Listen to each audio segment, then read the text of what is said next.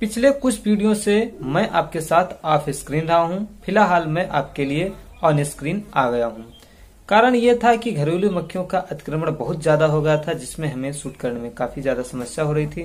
फ़िलहाल कुछ हद तक नियंत्रण प्राप्त कर लिया गया है तो मैं आपके साथ ऑन स्क्रीन आ गया हूँ। चलिए आज की वीडियो शुरू करते हैं और जानते हैं आज की इस वीडियो में इथोफेनोप्रॉक्स 10 प्रतिशत ईसी के बारे में।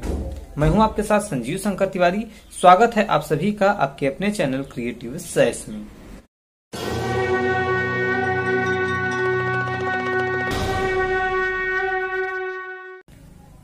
इथोफेनोप्रॉक्स पायरेथ्राइड समूह से व्युत्पन्न घोल के रूप में पाए जाने वाला कीटनाशक है, जो लक्षित कीटों को संपर्क पेट व तंत्रिका तंत्र से मारने का काम करता है। इसके प्रयोग की मुख्य फ़सल धान की है।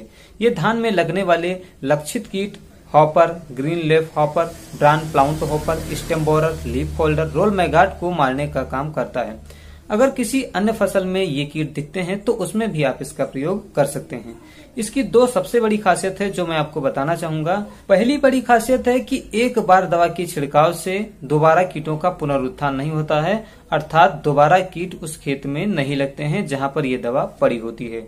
और दूसरी बड़ी खासियत है कि ये अन्य कीटनाशकों की तरह गंध युक्त नहीं है, ये पूर्णतः गंध मुक्त है। बात करें इसके प्रयोग की मात्रा की तो 200 से 300 सौ प्रति एकड़ 200 लीटर पानी में प्रयोग करना होता है। प्रयोग करते वक्त आपको मशीन ऐसी प्रयोग करना है जिसमें हालो को नाजिल लगी हुई हो।